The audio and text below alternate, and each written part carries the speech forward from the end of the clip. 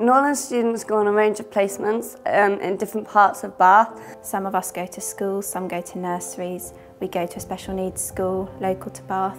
We also get to spend a week in a hospital either on the maternity or the paediatric ward. The students both do a daily placement where they go for um, approximately eight hours per day and they also do a residential placement where they work for 11 hours per day but actually live in with the family. My first placement was at a local independent BAME school um, working in a reception class which I really enjoyed um, and it was very good to see the structure of a reception class in that type of environment. In future they might want to go back and work in a school as you know, within a, a prep school or within a state school as a TA, as a teaching assistant. So it's really important that they have that opportunity to experience it whilst they can be supported here at Norland.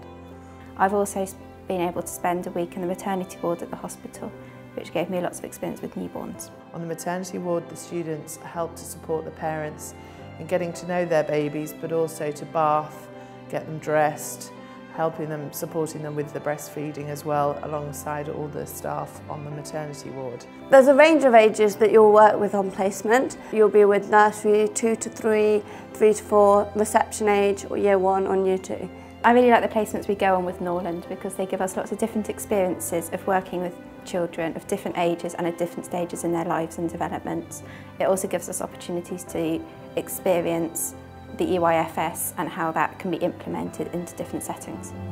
I've learnt so much more about children and, and about myself and about what I can do as a practitioner to help children develop.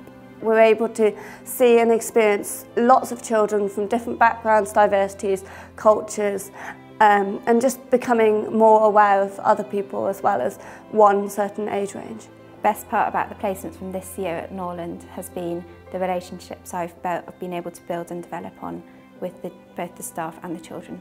I'm able to use the skills that I've learnt in different settings and for different children of different age ranges.